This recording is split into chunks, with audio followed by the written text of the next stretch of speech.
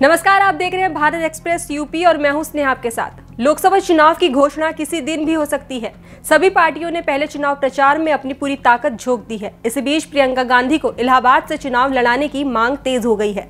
बात इतनी ही नहीं है, कांग्रेस कार्यकर्ताओं ने बकायदा पोस्टर भी लगा दिए हैं। क्या प्रियंका गांधी कार्यकर्ताओं की मांग पर इलाहाबाद से चुनाव लड़ेंगी? तो सवाल तो आपके मन में चल रहा होगा तो इसी सवाल का जवाब हम वीडियो में देंगे। लोकसभा चुनाव का बिगुल बच चुका है। हर पार्टी अपनी ज़ोर आजमाइश में लग गई है, लेकिन हाशिए पर चल रही कांग्रेस अब भी उम्मीद की डोर थामे बैठी है।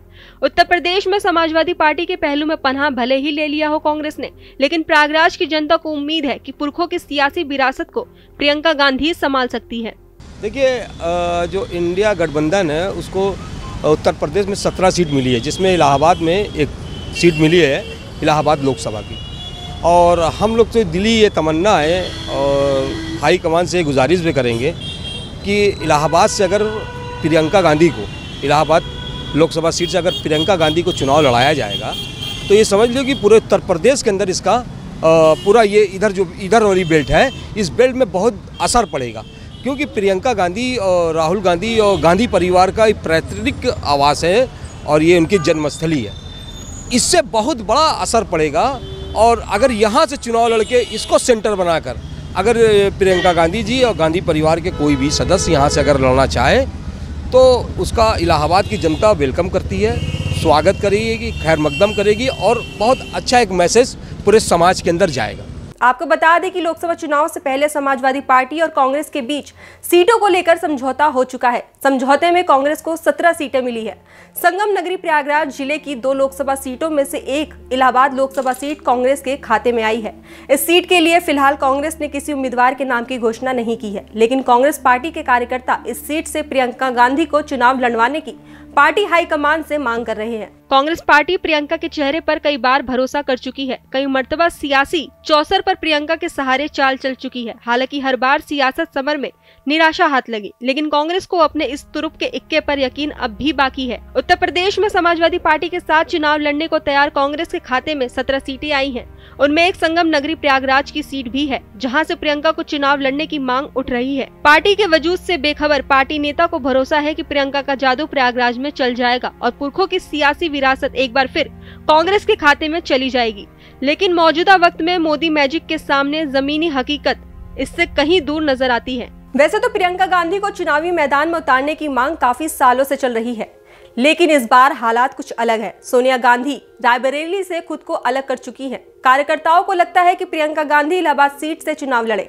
इसी सिलसिले में नेहरू परिवार के घर, आनंद भवन के सामने प्रियंका गांधी का पोस्टर लगाकर चुनाव लड़ाने की मांग की जा रही है। कार्यकर्ताओं को लगता है कि प्रियंका गांधी चुनाव में आई तो कांग्रेस की लहर वापस आ सकती है। 2024 लोकसभा चुनाव को लेकर कांग्रेस पार्टी और समाजवादी पार्टी के बीच में समझौता हो गया।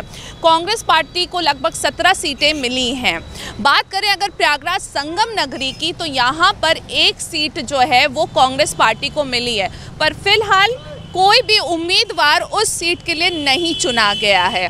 आपको बता दें, कांग्रेस कार्यकर्ताओं की मांग है कि उनको जो है यहाँ कांग्रेस कांग्रेस सीट के लिए प्रियंका गांधी चाहिए हैं। वो चाहते हैं उम्मीदवार के तौर पे यहाँ से प्रियंका गांधी खड़ी हों।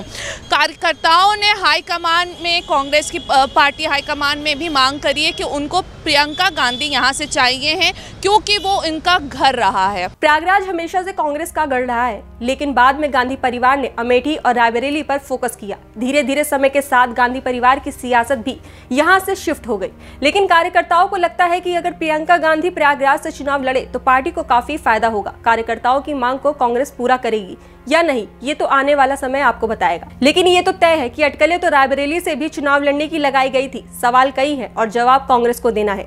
प्रयागराज से संवाददाता अनम फातिमा की रिपोर्ट। गांधी परिवार में तीन लोग हैं, जो माननीय राहुल गांधी भी हैं, प्रियंका जी भी हैं और वरुण गांधी भी हैं। अगर चूँकि अब अभी बहुत, अभी आप मीडिया के अंदर चल ही भी रहा है कि वरुण गांधी को लेकर। कयास भी लगाए जा रहे हैं कि कहीं यहाँ से लड़ सकते हैं, वहाँ से लड़ सकते हैं। तो गांधी परिवार से कोई भी आएगा, अगर गांधी परिवार से उनके हस्बैंड अगर लड़ना चाहें तो भी एक मैसेज जाएगा। रॉबर्ट वाड्रा जी अगर लड़ना चाहें तो वो भी बेहतर समाज के अंदर मैसेज जाएगा, क्योंकि उनसे जुड़े हुए परिवार से कोई जुड़ेंगे तो उससे ज़्यादा असर पड़ेगा इस सीट पर। और संभावना है कि ये सीट जो है के अलावा भी और कई सीट पे हम लोग मज़बूत से उसको निकाल पाएँगे। तो आपको ये लगता है कि अगर प्रियंका गांधी यहाँ से खड़ी होंगी तो फिर से कांग्रेस की लहर आ सकती है? जी भाई उनका ये जन्मस्थली है। अगर वो प्रियंका गांधी जी यहाँ से लड़ेंगी तो मैं कह रहा हूँ कि कांग्रेस के जो ये सीट के अलावा भी और जो सीटें हैं गठबंधन की जो सीटें हैं उस पर भी काफ़ी असर करेंगी। हाईकमान से इलाहाबाद सीट से मैदान में लाने की मांग की। कांग्रेस के कार्यकर्ताओं का कहना है कि प्रयागराज में गांधी परिवार का घर है और यहाँ से गांधी परिवार के कई सदस्य लोकसभा पहुँचे हैं। अगर प्रयागराज से गांधी परिवार से कोई प्रत्याशी मैदान में आएगा तो देश और प्रदेश में एक बार फिर कांग्रेस की लहर वापस आ सकती है। बाकायदा बैनर में प्रियंका गांधी को चुनाव लड़ाने के लिए ये लिखकर मांग की गई है की चलो बुलावा आया है घर वालों ने बुलाया है। तो इस वक्त हम प्रयागराज में गांधी परिवार के पुश्तैनी आवास के बाहर खड़े हुए हैं और यहाँ पे एक पोस्टर लगा हुआ है और ये आप पढ़ सकते हैं, यहाँ पे लिखा हुआ है, चलो बुलावा आया है, घर वालों ने बुलाया है। जी तो ये क्या कहना चाह रहे हैं कांग्रेस पार्टी? देखिए, यहाँ पे जो पोस्टर लगा, इस पोस्टर का बहुत मायने है। इस पोस्टर का जो मायने है, जो स्लोगन लिखा है कि चलो बुलावा आया, घर वालों ने बुलाया।